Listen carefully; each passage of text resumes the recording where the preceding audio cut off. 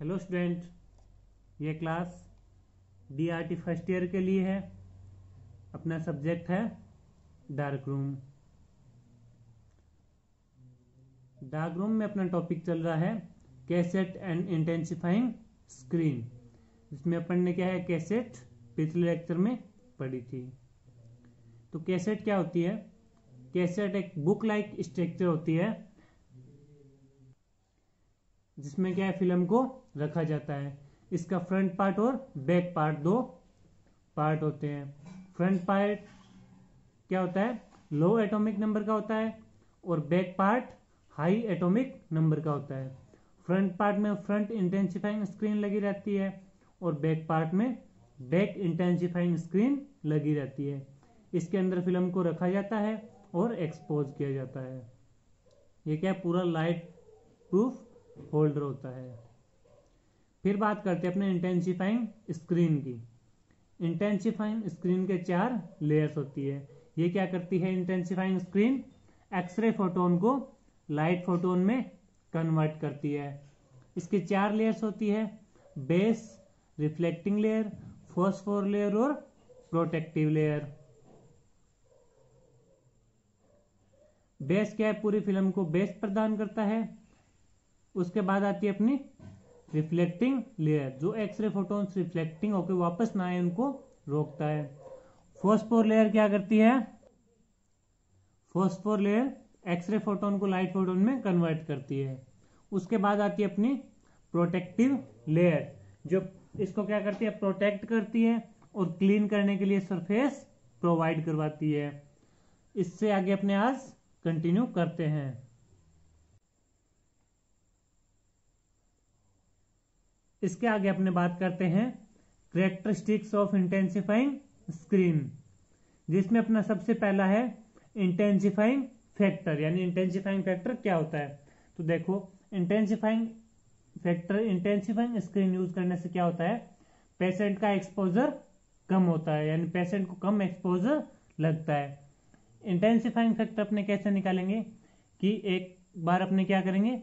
बिना intensifying screen use किए film लेंगे और एक इंटेंसिफाइंग स्क्रीन यूज़ करके अपने एक्सपोज करके फ़िल्म लेंगे। उन दोनों में जो डिफरेंस होता है, वही क्या कहलाता है? Intensifying factor patient exposure is decrease when intensifying screen are use जब अपने क्या करते हैं? इंटेंसिफाइंग स्क्रीन यूज़ करते हैं तो पेशेंट का एक्सपोजर क्या है? कम हो जाता है। The reduction in present exposure is measured by a term which is known as intensifying factor, जो क्या है? रिडक्शन हो रहा है। प्रेजेंट टाइम में प्रेजेंट एक्सपोजर में। उसको अपने किस से मेजर्ड करते हैं? उसके लिए एक टर्म बनाई गई है। वो टर्म क्या है? इंटेंसिफाइंग फैक्टर आई एफ़ तो इंटेंसिफाइंग फैक्टर क्या होता है?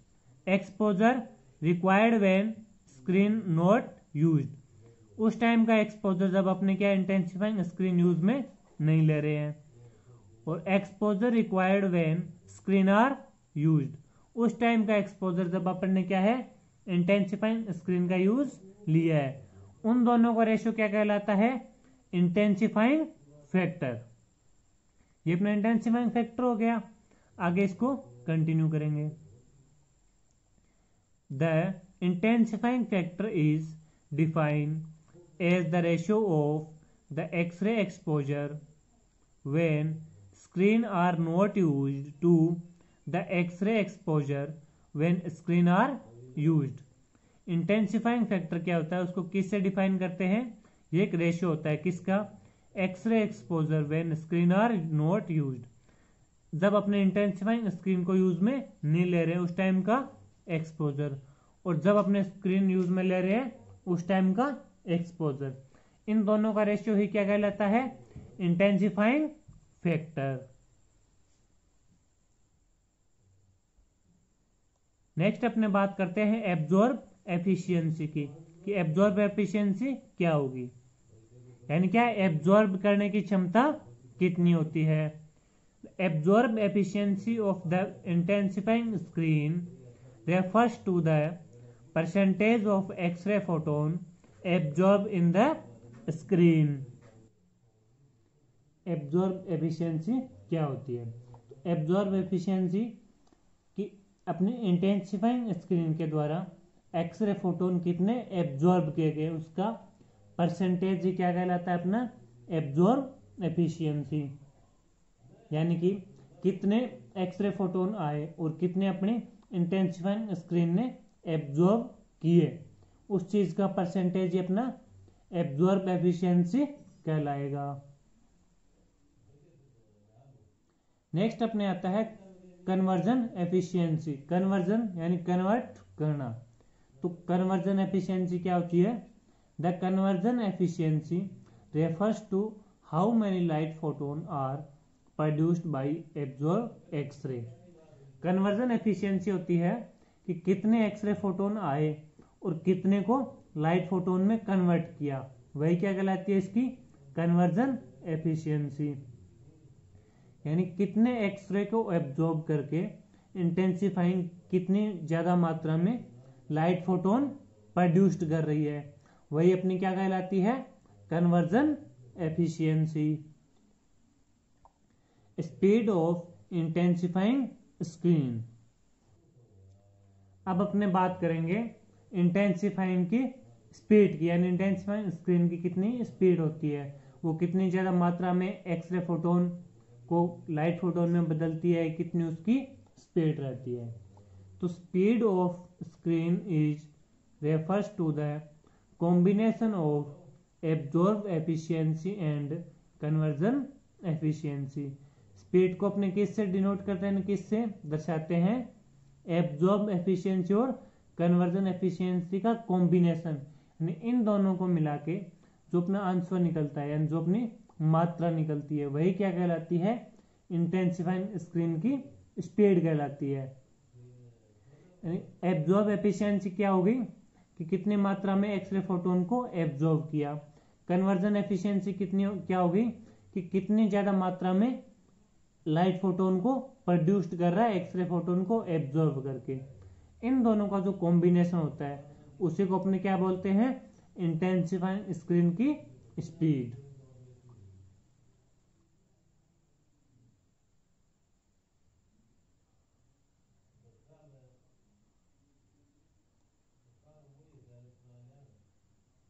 देखो स्पीड को बताया गया है।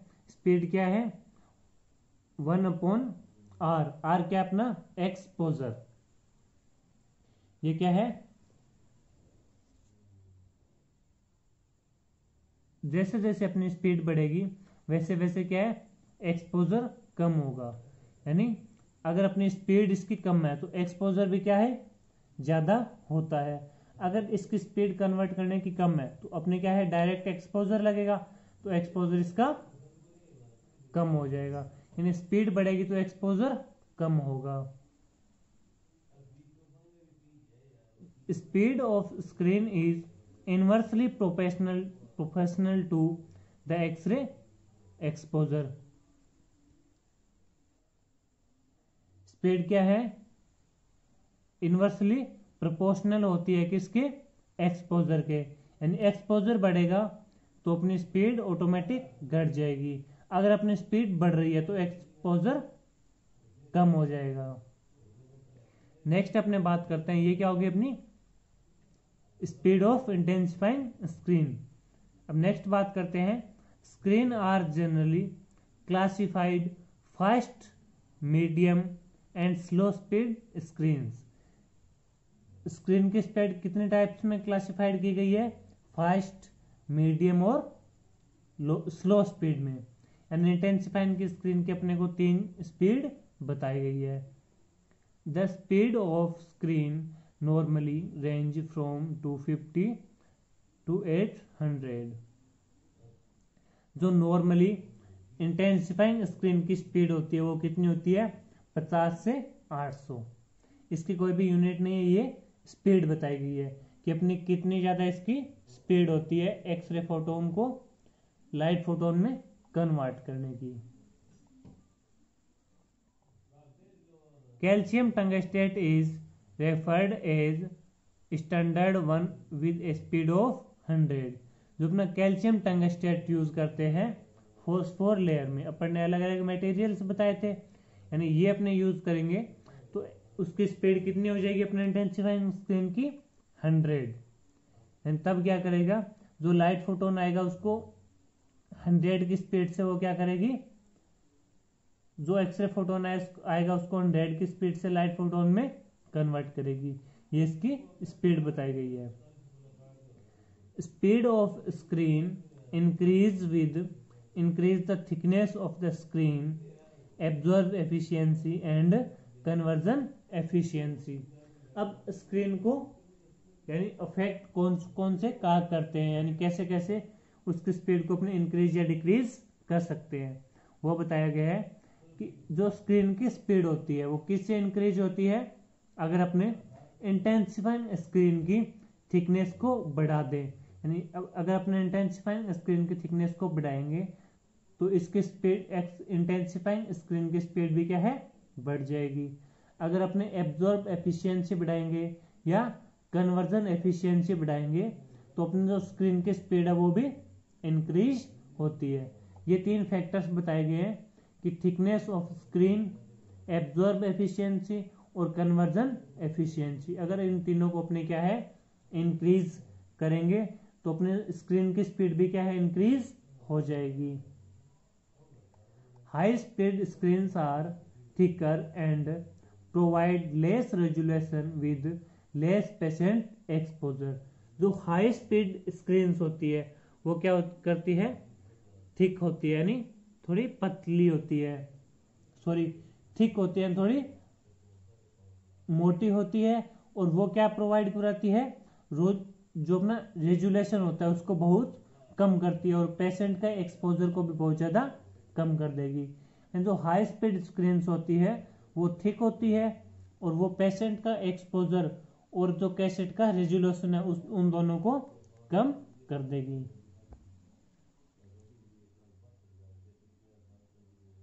Slow speed screen are thinner but have better resolution जो स्लो स्पीड स्क्रीन होती है, वो क्या होती है? थिन होती है बट उसका रेजुलेशन क्या है?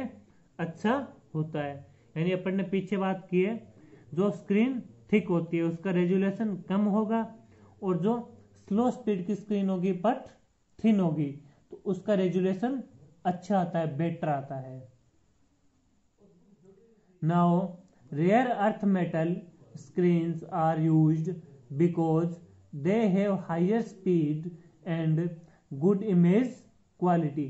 अपने क्या करते हैं? जो अर्थ से मेटल है, यानी रेयर अर्थ मेटल है, उनकी स्क्रीन अपने यूज़ में लेते हैं। क्यों लेते हैं? क्यों उनकी उनकी स्पीड क्या है? हाई होती है। और स्पीड हाई होने से क्या अपने को इमेज की क्वालिटी अच्छी मिलती है। अब अपने को रेयर अर्थ मेटल के एग्जाम्पल्स बताए गए कौन कौन से एग्ज़ाम्पल होते हैं? Lanthanum oxybromide with thulium for blue emulsion film अगर अपने क्या है? ब्लू इमल्सन फ़िल्म यूज़ में ले रहे हैं तो लेथेनियम ऑक्सीब्रोमाइड और उसके साथ में थेलियम का यूज़ लेते हैं, जिसका फॉर्मूला है L A O B R T I ये किसका फॉर्मूला है? लेथेनियम ऑक्सीब्रोमाइड विथ थेलियम का। ये अपने यूज़ में रहते हैं ब्लू इमल्सन फ़िल्म के लिए। नेक्स्ट एग्जांपल है अपना gadolinium oxy sulphide with thorium for green emulsion film अपने gadolinium oxysulphide with thorium use करते हैं ग्रीन इमल्शन फ़िल्म के लिए। और लेंथेनियम ऑक्सीब्रोमाइड विद थेलियम किस लिए यूज़ करेंगे? ब्लू इमल्शन फ़िल्म के लिए। यानी दोनों मैंने आपको बता दिए ग्रीन इमल्शन के लिए और ब्लू इमल्शन के लिए अलग अलग यूज़ में लेते हैं। गैडोलिनियम ऑक्सीसल्फाइड विद थोरियम का फॉर्मूला है G D two O two S T H इसके बाद अपने नेक्स्ट बात करते हैं मेंटेनेंस ऑफ़ इंटेंसिफाइंग स्क्रीन की। यानी इंटेंसिफाइंग स्क्रीन की मेंटेनेंस कैसे करेंगे? Intensifying screen must be keep clean intensifying screen को क्या है? अच्छी तरह साफ़ करेंगे। Screen are also evaluated periodically for screen film contact अपने ये चेक करते हैं कि स्क्रीन क्या है? फ़िल्म के पूरी कॉन्टेक्ट में रह रही है। यानी उनके बीच में थोड़ा सा भी गैप नहीं होना चाहिए। अगर उनके बीच में गैप रहता है तो उससे क्या अपनी फ़िल्म की क्वालिटी डाउन हो सकती है। इसलिए उसके जो जो फ़िल्म और स्क्रीन होती है, वो दोनों पूरी कॉन्टेक्ट में रहनी चाहिए। इसके बाद नेक्स्ट है any foreign material on the screen such as paper blood hair dust and stains will block light photon and produced image artifact अगर बाय चांस अपने क्या है इंटेंसिफाइंग स्क्रीन पे कोई भी फॉरगेन मटेरियल आ जाता है, जैसे कि paper blood hair dust stains तो वो क्या करेगी? लाइट फोटोन को ब्लॉक कर लेगी इमेज को एक्सपोज नहीं होने देगी। जिससे मैं अपनी इमेज में क्या है आर्टिफैक्ट्स आ जाएँगे। ये अपनी क्या इंटेंसिफाइंग स्क्रीन हो कंप्लीट होती है। देखो इसमें दिखाया गया है, अगर इंटेंसिफाइंग स्क्रीन नहीं यूज़ में लेते हैं तो क्या है? हाई एक्सपोजर का यूज़ करते हैं। और जब अपने इंटेंसिफाइंग स्क्रीन यूज़ में ले रहे हैं तो क्या है? लो एक्स से भी अपनी फ़िल्म क्या एक्सपोज हो रही है।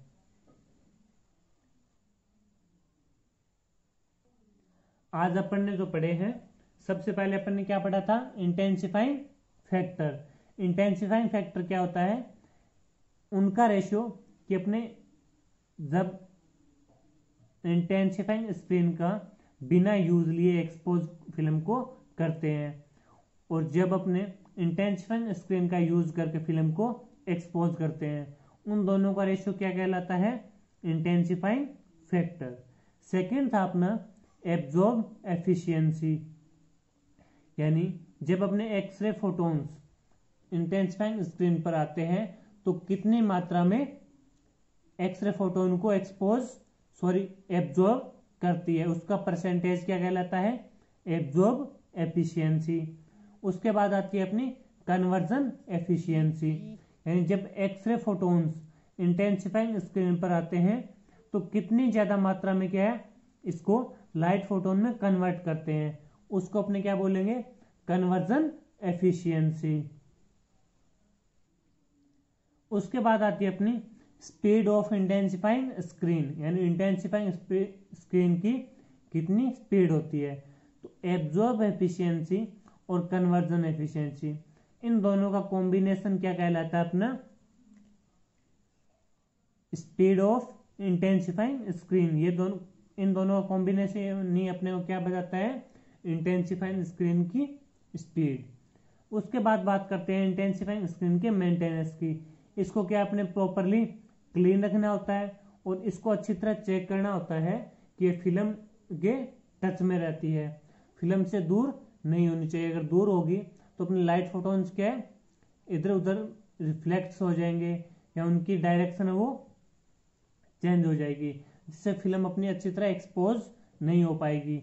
ये फ़िल्म का आर्टिफैक्ट हो जाएगा, जिससे इमेज क्वालिटी डिक्रीज हो जाती है।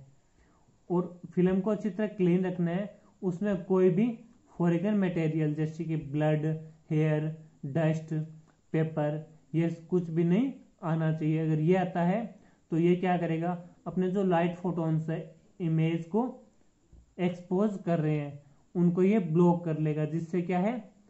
इमेज की क्वालिटी डिक्रीज हो जाएगी। तो अपने को मेंटेनेंस भी इसके रखने बहुत ज़्यादा ज़रूरी होती है। ये अपनी इंटेंसिफाइंग स्क्रीन कंप्लीट होती है। Thank you